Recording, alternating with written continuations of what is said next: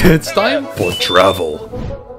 Hmm, that's enough, you slow, worthless animal.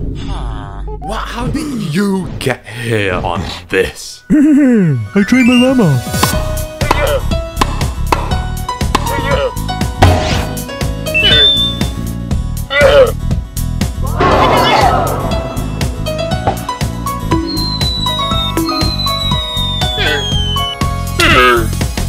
Breaking news! There's a new llama superstar. This can't be real.